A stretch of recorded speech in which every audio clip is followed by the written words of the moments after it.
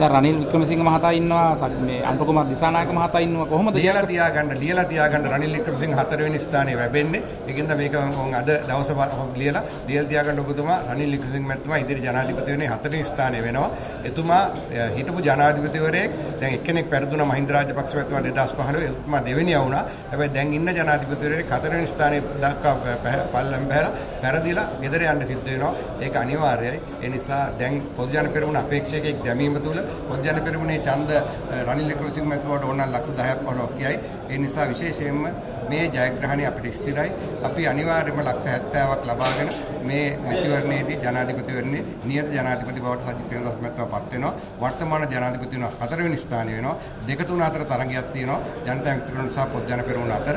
ඒ නිසා දෙක තුන පොදු ජන පෙරමුණ හා ජනතා විමුක්ති අතර තරගෙට අපිට ප්‍රශ්නයක් නැහැ. හැබැයි පළවෙනි ස්ථානයේ අපිට ස්ථිරයි.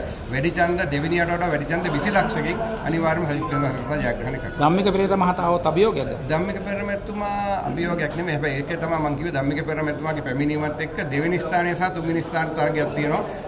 NPP එක සහ ධම්මික පොජ්ජන පෙරමුණ අතර. රනිල් වික්‍රමසිංහ මැතිතුමා නම් හතරවෙනි ස්ථානයක අනිවාර්යෙන් වෙනවා.